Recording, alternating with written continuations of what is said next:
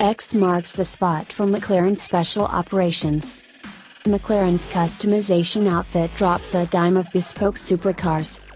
McLaren Special Operations has been busy as of late, and the outfit's latest bespoke project fills a unique commission by the brand's largest U.S. dealer, Southern California's McLaren Newport Beach. Dubbed MSO X, the commission consists of 10 cars that are as close to the 570S GT4 race car as possible while staying street legal.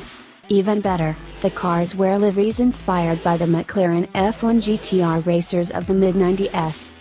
Key elements include a pylon-mounted rear wing that provides nearly 220 pounds of extra downforce, a fully functional gooseneck carbon fiber roof snorkel, front dive planes, an MSO titanium super sports exhaust, Pirelli P Zero Corsa tires, and a new hood with specially constructed air intakes that work in conjunction with the roof snorkel and rear wing.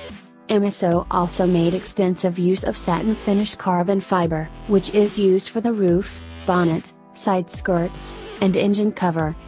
Inside, each MSOX receives a track-oriented cabin that deliberately exposes the carbon fiber monocell 2 chassis. A pair of racing buckets with a 6-point harness take center stage in the sparse interior, which is nearly devoid of storage options but does feature a fire extinguisher. Fortunately, MSO retain the parking sensors, rear view cameras, and air conditioning.